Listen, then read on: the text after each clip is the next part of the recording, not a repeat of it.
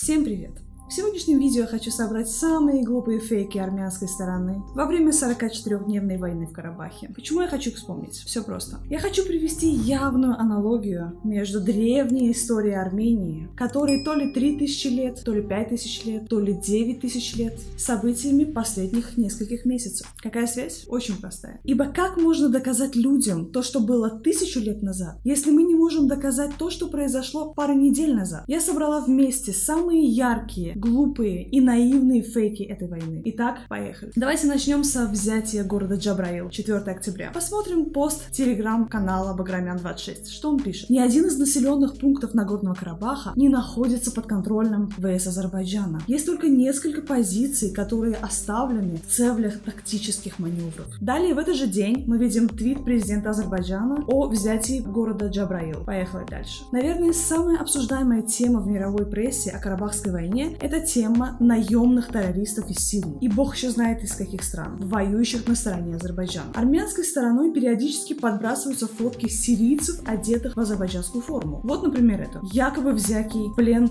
сириец. Интересно только, почему его также можно встретить и на других фотографиях, где он среди армян. Далее мы сделаем подпункты про сирийцев. Итак, новость от 14 октября. Ньюз Армении. В Азербайджане находятся уйгурские радикалы из Китая, которые потом потом вернутся в Синьцзянь и другие районы Китая, и там дестабилизируют ситуацию. Теперь читаем новость от канала Republic of Artsakh. Не могу точно сказать о жертвах среди террористов в рядах ВС Азербайджана, но могу сказать, что их не десятки, а сотни. Часть тел уничтоженных террористов вывозятся в Сирию. Часть остаются, например, в болотах Аракса, которые могут быть съедены кабанами. Да. Создается ощущение, что в Карабахе азербайджанцы вообще не воевали, а только какие-то террористы и иностранцы. И ведь все это вранье происходит не в 18 веке, оно происходит в 2020 году. Им рассказывают этот бред, а простые армяне в это верят. Теперь читаем пост Василия Полонского, журналиста канала Дождь. Он пишет на своей страничке, что не встречал никаких сирийцев, все военные в белых джипах были азербайджанцами. А еще, кстати, была интересная статья независимой газеты о том, откуда появился впервые этот слух про террористов в Азербайджане. Зачитываю. Одна из первых публикаций от 21 сентября по этому поводу была основана на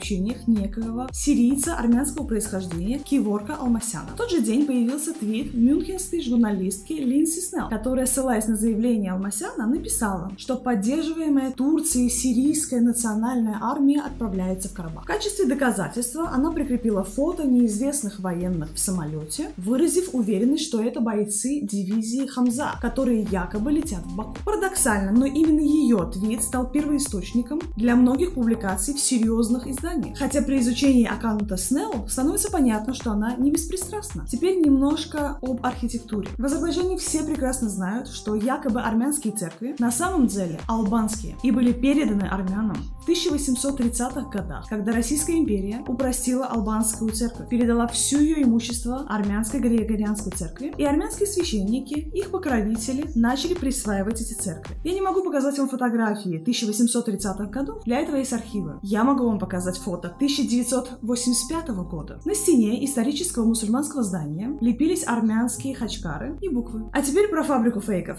которую обнаружили на освобожденных территориях. Целое предприятие по производству древних камней. Искусственно состаренные памятники армянской старины демонстрируются в качестве свидетельства древности армянского присутствия в Карабахе. Вторая цель – привлечение туристов и получение прибыли. Была одна интересная статья у «Новой газеты» Илья Азара от 7 октября. Называется она «Война у Южных ворот». В ней рассказывалось о реально плачевном состоянии армянских войск и большом количестве жертв. Все не так, как передавали армянские СМИ своим согражданам и мировому армянству. Что интересно, после этой статьи Илью Азара лишили аккредитации журналиста и выперли из Карабаха. Зато армянам нравилось читать Семена Пегова, который уже стал легендарным. Пегов у Пегова было слишком много фейков, чтобы рассматривать каждый по отдельности, так что давайте рассмотрим самый запоминающийся. Например, то, как он 4 ноября выставляет видео из выезда Шуши, уверяя зрителя в том, что армяне полностью контролируют город. В то время как для знающего пользователя это не центр города, а его окраина. А значит, уже 4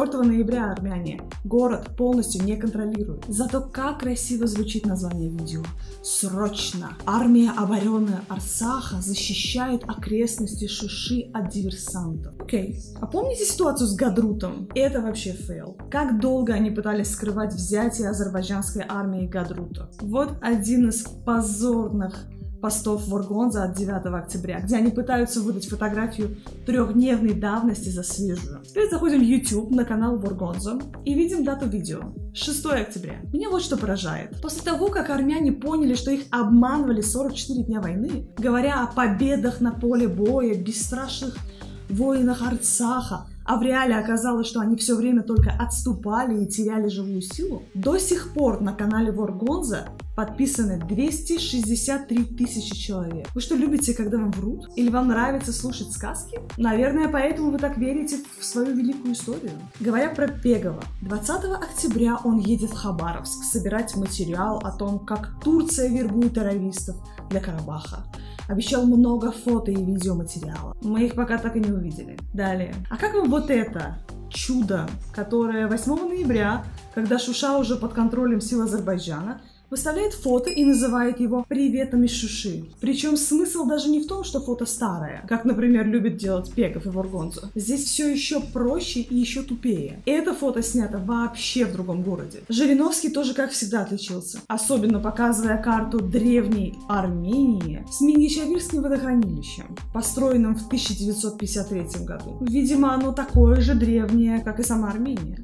Давайте быстренько вернемся к теме сирийских террористов. Итак, на канале Девичья Горячей башни выходит видео с гражданами Азербайджана по национальности – лезгины, цахуры и аварцы. Но почему-то телеграм-канал Армения Инфо выставляет это видео как еще одно доказательство участия арабоязычных наемников-террористов. Хотя это не война, это геноцид. Звучит очень многострадально и напоминает мне кое-какие события столетней давности. А вот еще одна прикольная фотография. Как известный актер Талех Юзбеев стал сирийским террористом в телеграм-канале Republic of Artsakh, насчитывающим на тот момент, как видите, 105 тысяч человек. А вот как страница Арт Арцах Пресс выставила азербайджанского парня, представив пакистанским солдатам. Парень выложил этот армянский пост со словами «Прощайте, ребята, я, оказывается, умер». А вот очередные сирийские джихадисты в Шуше. Для тех, кто не в курсе, данный флаг является траурным флагом для всех шиитов мира по имаму Хусейну, внуку пророка Мухаммеда. И для каждого шиита означает символ борьбы и справедливости. Да и вообще, все, что связано с шиитами у сирийских боевиков считается греховным. Азербайджанцы на 80% шииты, если что. Видимо, для армянских телеграм телеграм-каналов любая арабская вязь на полотне — это сирийские джихадисты. Помните армянский фейк о сирийцах в форме пограничных войск Азербайджана? Похоже, один из них оказался настолько крутым, что втерся в доверие к самому министру обороны Армении Давиду Танаяну. И вот сейчас рядом с ним сидит. А как вам новость про сбитый азербайджанский беспилотник под номером 151? Исходя из сообщений армянских сказочников, сначала он был сбит армянскими ВС, потом совершил побег, и на другой день решил напасть на священника. А теперь одно из очень важных событий, которым вновь внимание привлек Владимир Путин. События в Сунгаите. Якобы Карабахский конфликт начался с нападений на армян в Сунгаите. Хотя азербайджанцы прекрасно помнят, этнические чистки и выселение азербайджанцев из города Кафан, который сейчас на территории Армении и Еревана. И это происходило до событий в Сумгаите. Но после слов Путина создается ощущение вот этой многострадальности. Жестокие азербайджанцы начали убивать бедных армян в Сумгаите, и именно поэтому они решили отделиться от Азербайджана в Карабахе. Конечно, Путин прекрасно знает, что было все вовсе не так. А по поводу самих сунгайских событий, давайте откроем один интересный фильм в Ютубе. Он про армянина по имени Эдуард Григорян, одного из активных участников погрома. Под видео в YouTube я скину ссылку на статью про рассекреченные архивы сумгаитских событий и ссылку на этот фильм. Так что каждый, кто кричит про сумгаитскую трагедию, должен ознакомиться с тем, с чего начиналось. Обязательно посмотрите этот фильм. Он основан на архивных документах КГБ СССР и Азербайджана. За 44 дня войны было огромное количество фейков и информации, которые мы просто не могли доказать нашему оппоненту. Мы брали Джабраил, а армяне говорят, Это неправда. Мы берем Гадрут, а они в Гадруте воюют еще целый месяц после взятия этого города. Мы показываем видео с водружением азербайджанского флага в Гадруте, а армяне говорят, что это просто азербайджанские спецназовцы забегают в город, чтобы сделать фото с флагом и убегают. И армянское население верит в этот бред.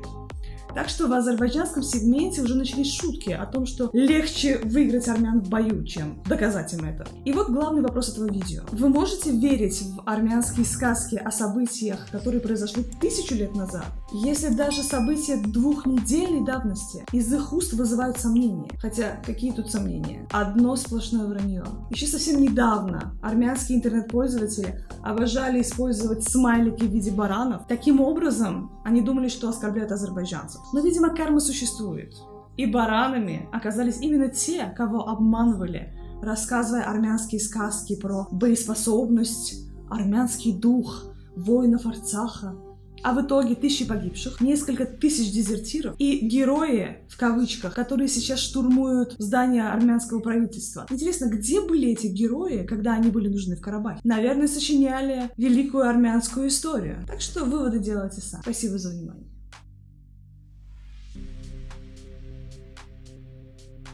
Пишите в комментариях, что вы об этом думаете. Спасибо за просмотр. Не забудьте подписаться на наш канал и поставить лайк этому видео.